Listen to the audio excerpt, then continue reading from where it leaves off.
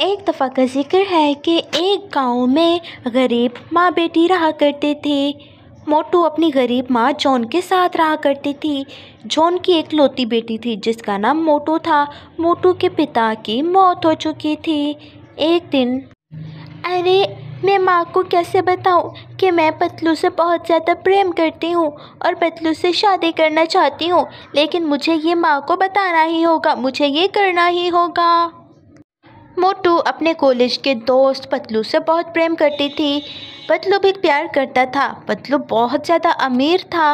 पतलू की माँ बहुत अमीर थी।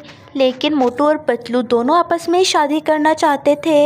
एक दिन, अरे बेटा, अब तेरा कॉलेज भी ख़त्म होने वाला है। मैं सोच रही हूँ तेरे लिए अच्छी सी लड़की देखूँ और तेरी शादी कर दूँ।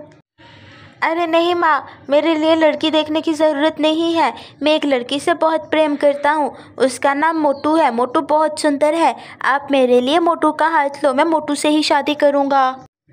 पतलू की माँ, ये सारी बात सुनकर हैरान हो जाती है। फिर वो अकेले में सोचती है कि, अरे, शादी तो मेरे बेटे ने करनी है और ज़िंदगी भी उन दोनों ने गुजारनी है। तो क्यों ना मैं दोनों की शादी करा दूँ? मुझे दोनों की शादी के लिए मान जाना चाहिए।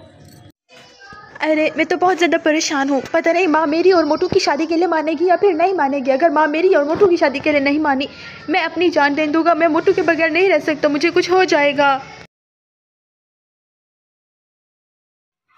अरे माँ, मैंने आपसे कहा था ना कि मैं मैं मैं मोटू को बहुत पसंद करता हूँ। आप मेरा रिश्ता लेकर चलो। लेकिन आप मेरी कोई बात नहीं सुन रही उसका रिश्ता, उसकी माँ कहीं और कर देगी। माँ, अगर मुझे मोटू ना मिली तो मैं अपनी जान दे दूँगा। मैं ज़िंदा नहीं रह पाऊँगा, माँ। मैं मोटू के बगैर नहीं रह सकता, माँ। मोटू को समोसा पसंद है और मुझे मोटू पसंद है। जैसे मोटू समोसे के बगैर नहीं रह सकता, वैसे मैं भी मोटू के बगैर नहीं रह सकता। माँ, मुझ पर दया करो। अरे मेरे लाल, अरे मेरे बेटे, ऐसी बातें क्यों कर रहा है तू? मुझे तेरी पसंद बहुत पसंद है। तू चिंता मत कर, आज ही तेरा रिश्ता लेने के लिए चलते हैं और जल्दी तेरी शादी मोटू से मैं करा दूँगी। जैसे मोटू को तू पसंद है, वैसे मुझे तू पसंद है। चिंता मत कर। और फिर उसी दिन ही वो दोनों माँ बेटे मोटू के घर रिश्ता लेने के लिए चले जाते हैं। मोटू और पतलू अब दोनों एक दूसरे को पाकर बहुत ज़्यादा खुश थे, क्योंकि अब दोनों का रिश्ता तय हो चुका था।